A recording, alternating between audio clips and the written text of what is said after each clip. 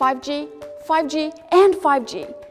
Everyone has been talking about it since 2019, and this year it will start having a big impact of our lives.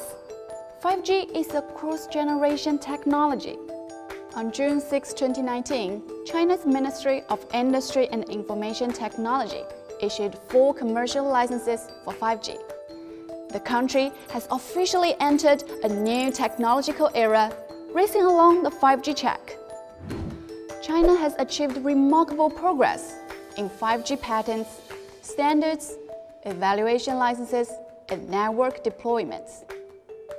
For example, its 5G patents account for over 30% of the world's total, ranking the first. By the end of 2019, more than 130,000 5G base stations had been built nationwide. In seven years, existing 5.5 million 4G base stations will be upgraded to 5G. And the combined total of 5G base stations will reach 6 million in China by 2027. Meanwhile, people start to enjoy more 5G applications in daily life folding screen phones, faster checking at railway stations, and higher quality TV shows. A worldwide competition for 5G market share is coming. South Korea, the US, Switzerland, and others have all launched 5G commercial services. It is the network that will underpin the entire next generation technology revolution. So, improving independent innovation ability and gaining innovative development initiative is the key. 5G applications help expand communication from person to person to person to thing, thing to thing, and beyond.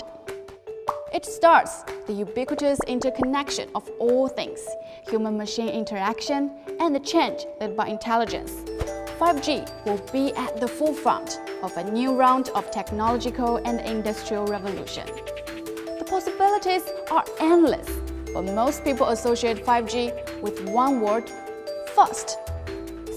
And new technologies are important, but 5G is about much more. The 5G era has come. The vision of the Internet of Everything is being realized. But new services, new frameworks, and new technologies will also pose new challenges to big data security and users' privacy protection. During the upcoming two sessions, what motions and proposals will be raised and deliberated by legislators and political advisors on 5G-related issues. Let's wait and see.